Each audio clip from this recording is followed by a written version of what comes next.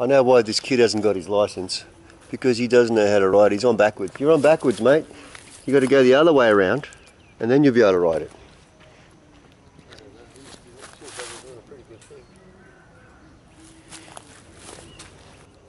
Yeah, my father always told me if you keep scratching it, it'll fall off.